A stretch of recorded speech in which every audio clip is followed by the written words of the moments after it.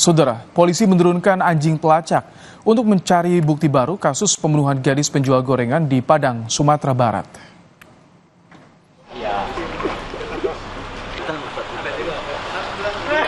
Dari hasil penelusuran polisi dibantu anjing pelacak menemukan baju kaos milik korban di lokasi tempat jasad korban ditemukan. Baju ini diduga merupakan pakaian terakhir yang digunakan korban sebelum ditemukan tewas. Anjing K9 juga berhasil memetakan jalur jalan yang diakses terduga pelaku menuju jalur jalan utama Padang Bukit Tinggi sebelum akhirnya melarikan diri. Selain memeriksa sejumlah saksi, polisi juga masih menunggu hasil otopsi untuk membuktikan kekerasan seksual yang dialami korban sebelum dibunuh.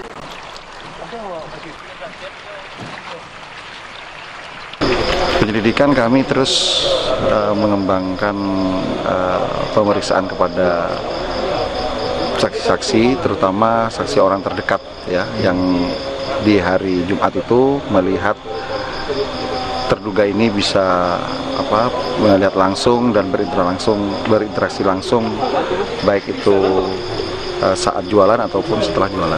Untuk otopsi memang ada didapatkan uh, belum. Otopsi masih kita masih menunggu resmi dari dari Rumah Sakit Bayangkara. Masih belum. Masih. Informasi berikutnya, Saudara, Kepolisian Daerah Jawa Barat menetapkan tersangka baru, yaitu seorang perwira polisi dalam kasus pembunuhan ibu dan anak di Subang, Jawa Barat.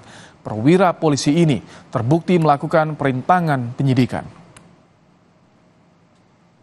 Kabit Humas Polda Jabar menyebut perwira polisi berpangkat Ibda sempat menyuruh saksi di TKP untuk menguras bak mandi Ibda T diketahui dua kali menyuruh saksi untuk menguras air di bak mandi pada hari yang berbeda.